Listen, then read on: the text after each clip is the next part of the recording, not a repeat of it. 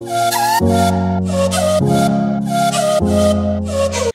guys, this is Sourabh. In this video, I'm going to show you one app. This one is Maths Quiz app. Okay, so let's see how it's look this app. You can see that's the app here and there are a lot of functionality here. You will see here uh, there's four options. Okay, and there is answer countdown. There's a four answer right and there's a countdown also right you can see and there's a scoreboard also okay you can see here.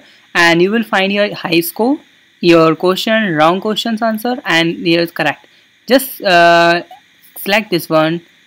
Answer should be 73 or something. Okay it means this one is 73 yes correct answer is one. You can see here correct one and wrong is one. Okay so just click on it and again and again and there are a lot of question and answer here. Okay and you will see in the final congratulations you have completed this game and you will find score is this one correct answer wrong answer and unanswered. Fine. You can select the menu and you can go to the new quiz.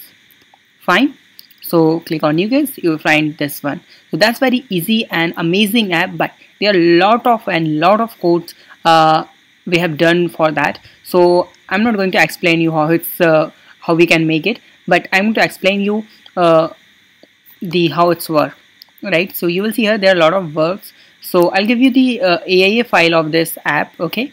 And you can see here there are a lot of code here. It's easy. It's not tough code but it's too much. So you don't need to worry. I will give you the .aia file for that.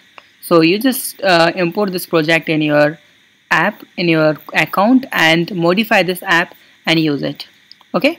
So have a nice day. Be safe. If you have any doubt you can ask me on comment and please please please don't forget to subscribe my channel and like this video and share this video. Have a nice day. Be safe. Bye bye